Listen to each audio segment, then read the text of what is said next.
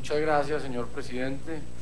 Pues primero quiero felicitar al doctor Rodrigo Lara por este eh, proyecto. Es un proyecto que salva vidas, es un proyecto de los que los colombianos necesitan, soluciona, va dirigido a solucionar un problema y en esa medida pues votaremos a favor.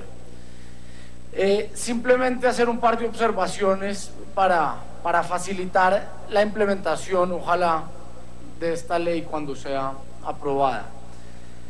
¿Cómo hacer para garantizar el derecho de las personas que se declaren no donantes?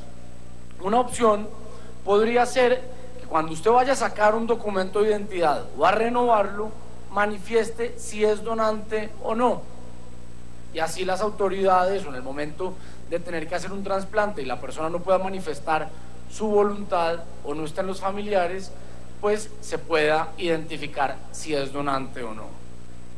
Lo mismo con los menores de edad, que sean los padres quienes decidan si el niño o niña es donante o no, y que cuando éste cumpla la mayoría de edad, pues tome la decisión y lo manifieste así a las autoridades a la hora de eh, tener, de expedir un documento de identidad. Esto con el fin de garantizarle y de proteger el derecho de las personas que no quieran donar sus órganos para que pues no, no, no se vean obligados a esto. Pero de resto casi que debería ser una obligación ciudadana.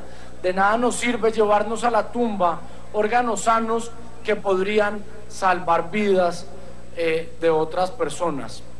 Entonces, pues simplemente esa recomendación, doctor Rodrigo, para que se tenga en cuenta y, y se pueda garantizar el derecho de los no donantes. Muchas gracias.